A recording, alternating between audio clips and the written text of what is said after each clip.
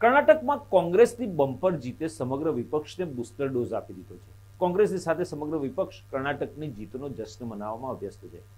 વિપક્ષો એક અવાજે દાવો કરવા લાગ્યા છે કે આવનારી ચૂંટણીમાં પણ ભારતીય જનતા પાર્ટીની આ જ રીતે હાર થશે. નિષ્ણાતોનું કહેવું છે કે કર્ણાટકના પરિણામોને બે હજાર ચોવીસમાં અથવા આ વર્ષે ઘણા રાજ્યોમાં યોજાનારી ચૂંટણીના પરિણામ તરીકે માનવું યોગ્ય રહેશે નહીં. કર્ણાટકની હાર બાદ દક્ષિણમાં ભાજપના તમામ ગેટવે બંધ થઈ ગયા છે. તેવું માનવાનું પણ યોગ્ય નથી.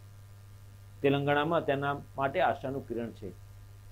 બે હજાર ઓગણીસની લોકસભા ચૂંટણી દરમિયાન તેલંગાણામાં ભાજપના વોટ શેરમાં જબરદસ્ત ઉછાળો આવ્યો હતો. બીજી વાત એ છે કે કર્ણાટકના લોકો જે રીતે વિધાનસભાની ચૂંટણીમાં મતદાન કરે છે, તેવો ટ્રેન્ડ લોકસભામાં રહેતો નથી. આ વર્ષે રાજ્યોમાં યોજાનારી ચૂંટણીમાં ભાજપે વધુ ઊર્જા લગાવવી પડશે. બે હજાર ચોવીસની લોકસભા ચૂંટણી પહેલા કર્ણાટકમાં અપમાનજનક હારમાંથી બહાર આવવા માટે આ ટોનિક સાબિત થશે.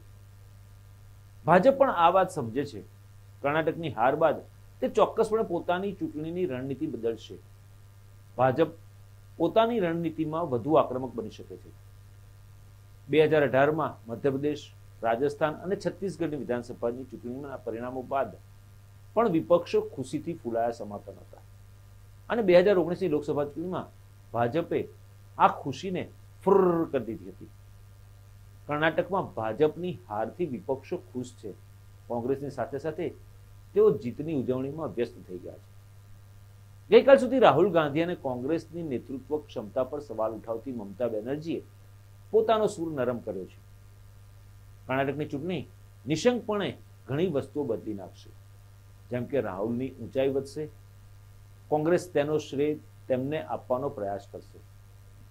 ભારત જોડો યાત્રા દરમિયાન રાહુલે આ રાજ્યમાં સૌથી વધુ સમય વિતાવ્યો હતો. મલ્લિકાર્જુન ખરગેની સ્થિતિ વધુ મજબૂત થશે. તેનાથી વિપક્ષ માટે એક થવાનો માર્ગ પણ ખુલશે. કોંગ્રેસની છત્રછાયામાં આવવા માટે કેટલાક વિરોધ પક્ષોની ખચકાટ ચોક્કસપણે ઓછી થશે. તે પણ નજરે પડે છે. કોંગ્રેસ માટે મમતા અને સપા પ્રમુખ અખિલેશ યાદવના સૂર બદલાયા છે. જો કે કોંગ્રેસે બહુ ખુશ થવાની જરૂર નથી. બે હજાર અઢારમાં મધ્યપ્રદેશ, રાજસ્થાન અને છત્તીસગઢની વિધાનસભા ચૂંટણીના પરિણામો પછી તેની સમાન આશંકા હતી. ત્યારે પણ ભાજપ માટે કાઉન્ટડાઉનની ચર્ચા હતી. જોકે લોકસભાની ચૂંટણીમાં સમગ્ર વિપક્ષ સપાટો બોલી ગયો હતો.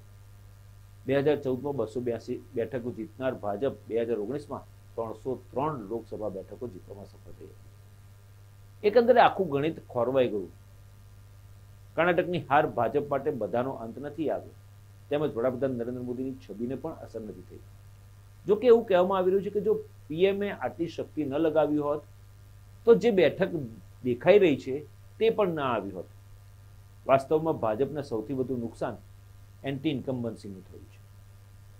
હાર માટે જવાબદાર હોય તો માત્ર બોસ- બસવરાજ બોમાઈ જ છે.